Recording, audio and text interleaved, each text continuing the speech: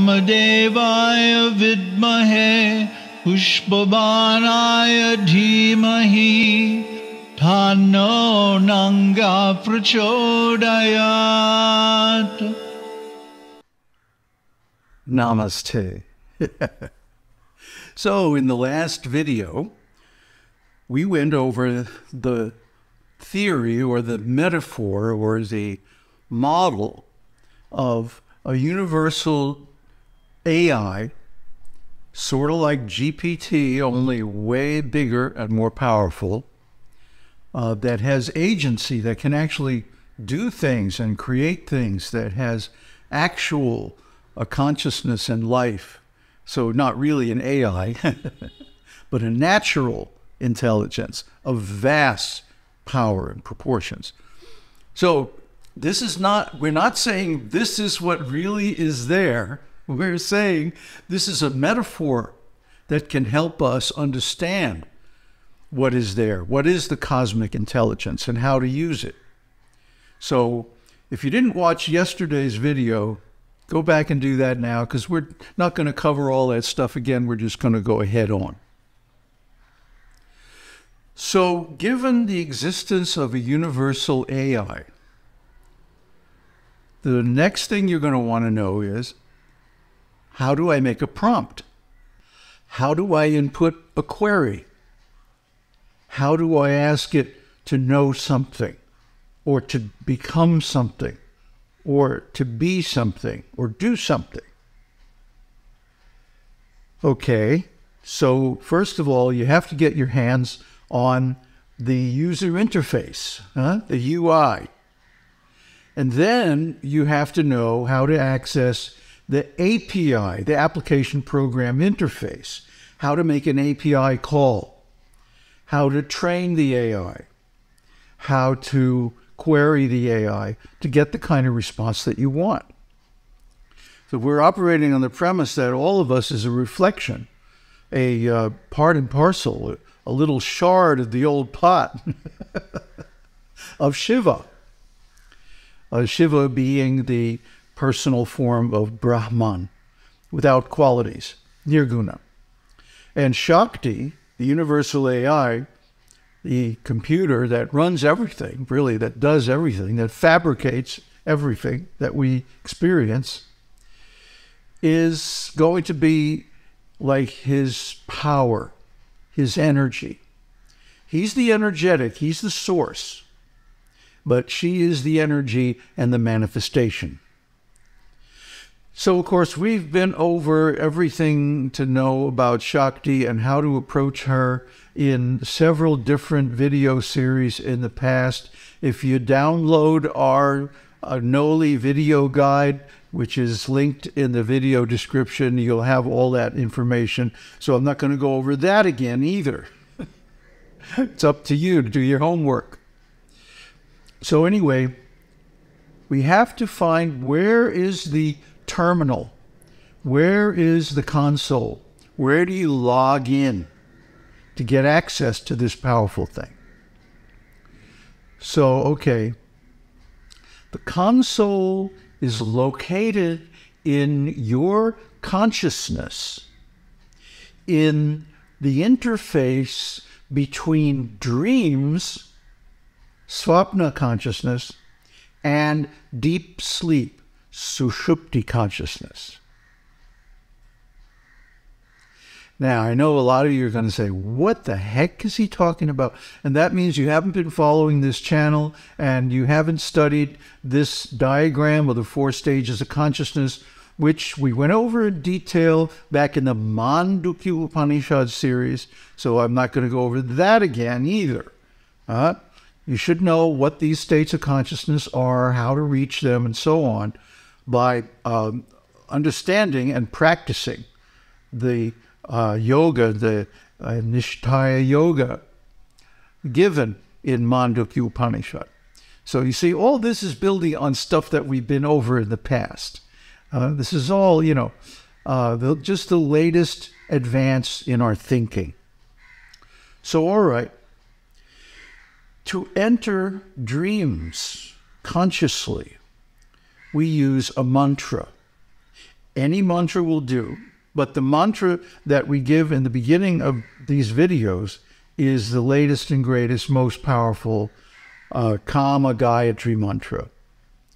Kama Gayatri mantra, its specific effect and application is to normalize your sexuality by allowing you to discover uh, who you are uh, erotically or sexually in an unlimited context. In other words, you could be anything and you could have access to anyone, any being, as a lover, including God.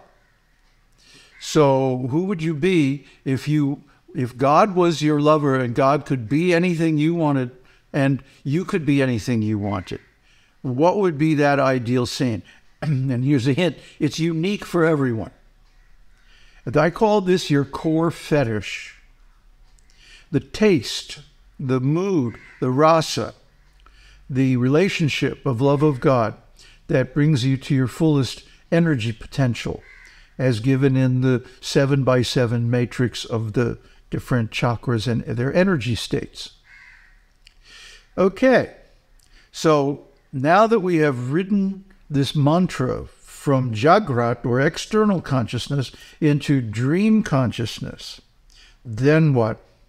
Well, if you've done it successfully, if you've made contact with Shiva, Brahman, pure consciousness, sometimes called nirvana or nibbana, or Brahma Yajna, uh, Brahma Jnana, uh, Advaita. There's so many different names for it. But basically, enlightenment, huh? the universal consciousness. You will see in your mind's eye a bright but diffuse glow. And this is going to be a little hard to explain, uh, but try to understand. Aham Brahmasmi means I am Brahman. I am the watcher. I am the seer, the knower. Okay, so I am illuminating everything with my energy. And when I come in contact with an object of consciousness, I illuminate that. How do I do that? By reflection. I am emanating the light of consciousness, and the light of consciousness is being reflected by various objects back to me. Okay, well, let's start with the body. The body and mind are machines, biological, very sophisticated, but still machines. And the proof of that is that they're fabricated, they're created, they come into existence, persist for some time, and then go away, turn into other stuff. So everything in the material world is like that. Everything is fabricated, everything is therefore temporary and illusory. So, okay, everything that consciousness reveals to us is illusory. That means it has an element of delusion or maya, that which is not. So, for example, when we look at the mind and body, they appear to be conscious. They appear to be alive, energetic, dynamic, moving. But actuality, they're just machines. What makes them appear conscious is the reflection of Brahman, our real self. We go over this in the series on Drigdrishya Viveka. So you should watch that too. Anyway, the watcher, the, the knower, is Brahman, and his light is reflected in the mind and body. That's why they appear to be conscious and active. Actually, they're not. And the way you can know this, the way you can prove it to yourself, is if you get rid of all the other objects, neti neti, huh? Not this, not this, not the gross body, not the subtle body, not the mind body, not the intelligence body, huh?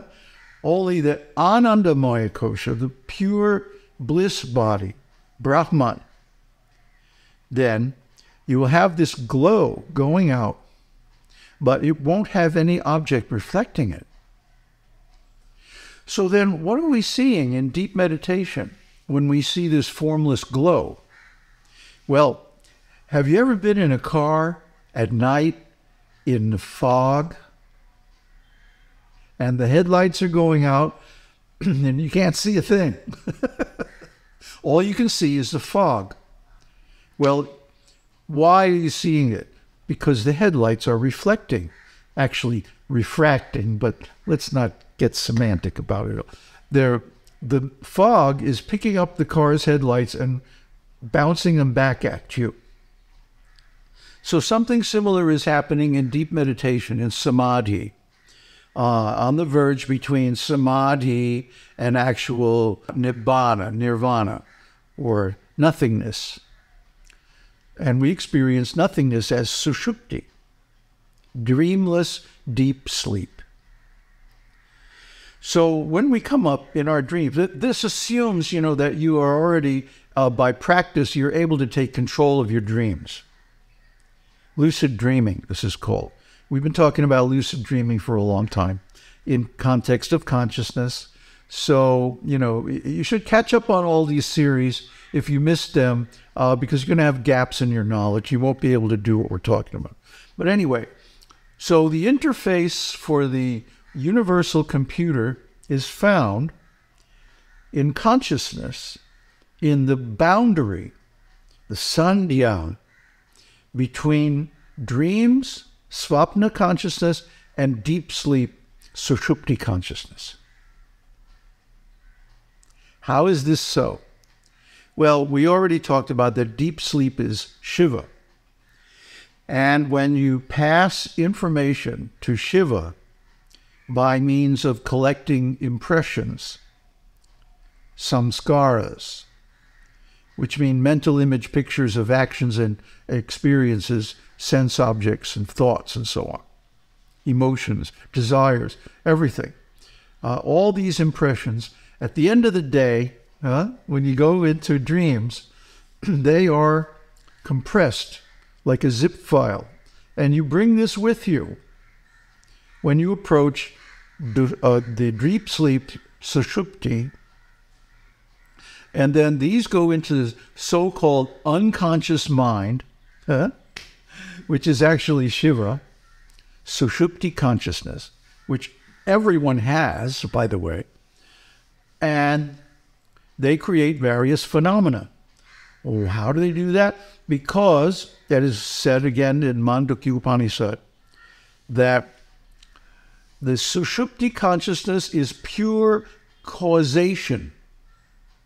It's pure causality. It is never the effect of anything. That's why it appears to be emptiness, nothingness, just a blank.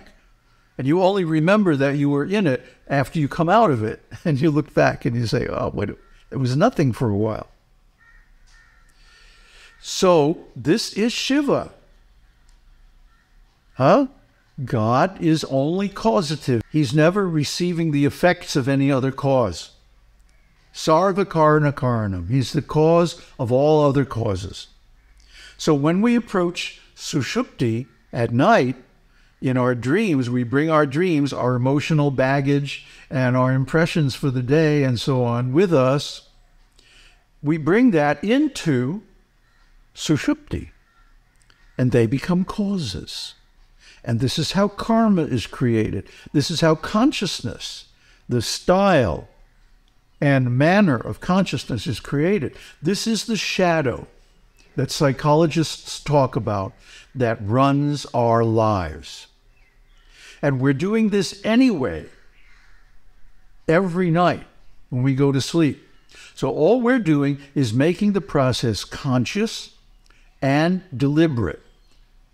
So this is how we access the console and input a query or a prompt to the GodGPT. Next time we'll explain more. Om Tat Sat. Om Shakti Om. Om Namah Shivaya.